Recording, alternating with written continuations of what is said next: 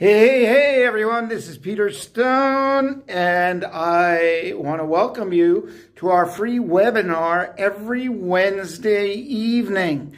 You can check out our Facebook page. You'll see it posted under the events, the current time, the location, your front door, your desk, your phone, wherever you are in the world.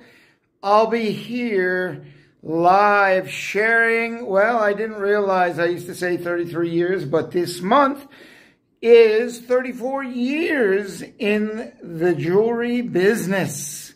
So I've learned a thing or two. As you can well imagine, we've stayed in the game. What's the biggest challenge in life, in business, is getting through the first year? No.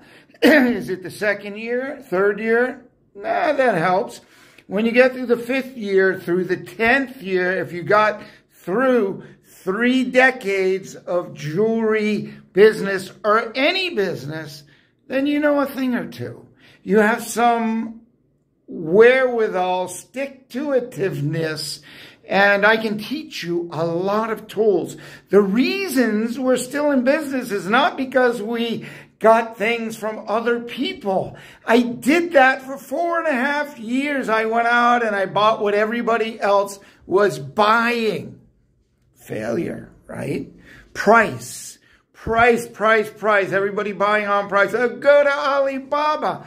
That's crazy because it's such crap.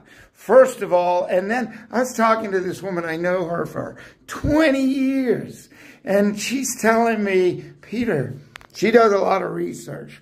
And she was looking for some things online. She found jewelry that was rusting. And they said it was sterling silver on some website.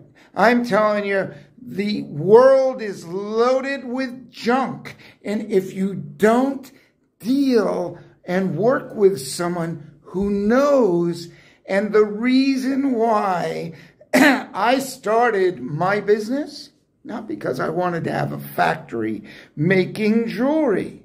Because I was forced to open a factory if I wanted reliable delivery and I wanted beautiful jewelry first time, every time. But guess what? I started it because I wanted the reliable delivery and I wanted the beautiful jewelry. Both those things became a challenge.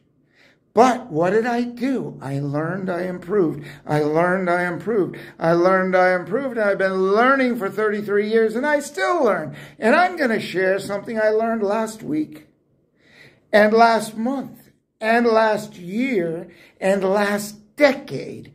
And that's where you're going to really find the benefits.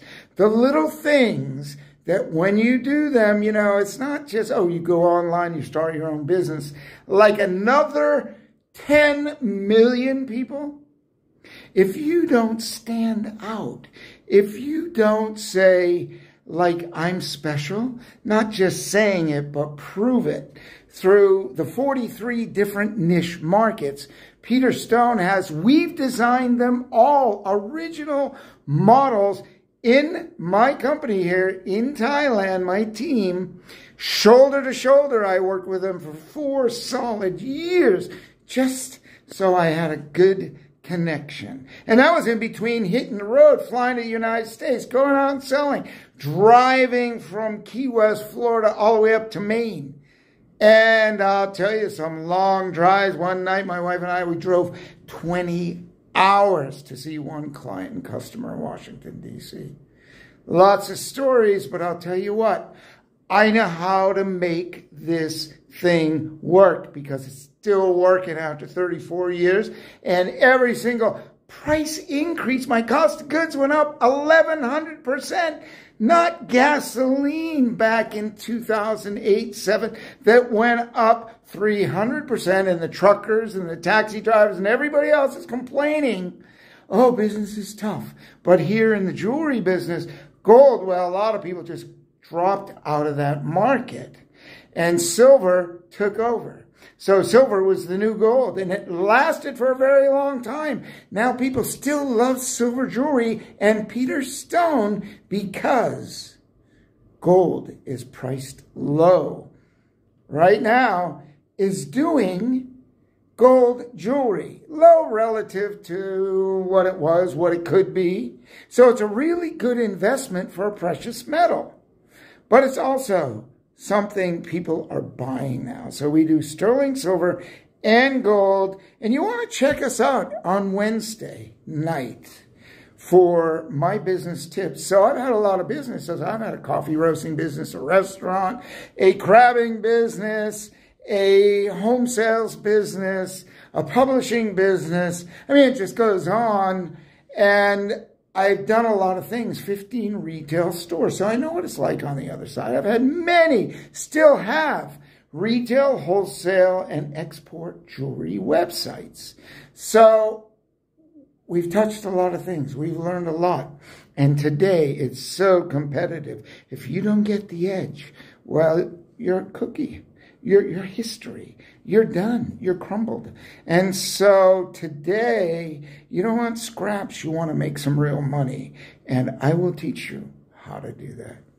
This is Peter. Check us out. Click on the link. Sign up. You want to opt in, sign up. And you can always leave if you don't feel it's for you. But I'll give you tips in any business, but you want to add jewelry to a website with a drop shipping program. It doesn't cost. I mean, the cost is a little bit, but we give you a lot to get you up and running, turnkey, but you got to turn the key. I'll see you later. It's lunchtime. I got to go. I'll see you.